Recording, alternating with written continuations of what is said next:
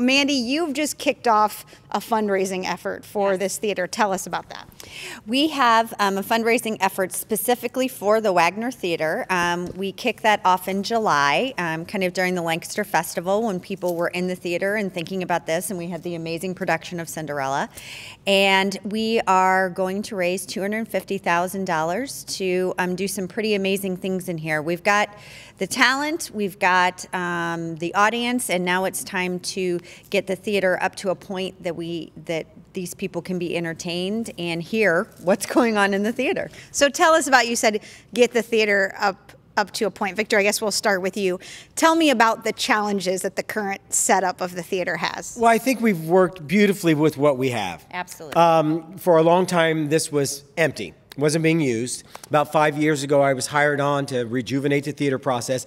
Um, the lighting, the acoustical, the seating, all that is from 19. Is it 1968? Late 1960s. Uh-huh. 68. So our students need to be um, have the equipment available to compete as they move forward out into the real world with the right lighting board, the right audio board, um, all those necessary tools.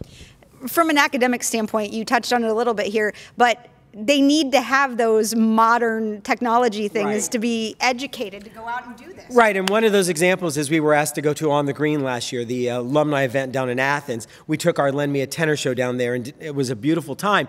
But our students were into their new new lighting equipment. They're like, "Wow, what's this? We don't have that." I'm like, "I know, we're working on it," but it was an amazing facility, and it gave us a glimpse of what we wanted to have here. Okay. And and Mandi, from a community standpoint, I know you've heard that some people, if they're way in the back of the house, have a hard time hearing. Tell us about Yes, well, and I mean, I'm one of those people. Actually, I've told Me people too. that I've talked to, I've told people I've talked to about this campaign. I said, you know, my son was in Cinderella. I went to six out of the seven performances, sat in a different seat each time, and had a different sound or acoustical experience each time. So it really is a testament. And and if you talk to anybody who comes to our, whether it's a theater production or a concert or whatever they come to in this theater, um, they're going to tell you that, that the sound is probably the biggest hindrance on their experience. Wow. Um, and so, Victor, is that? I mean, we've said it's an acoustic issue.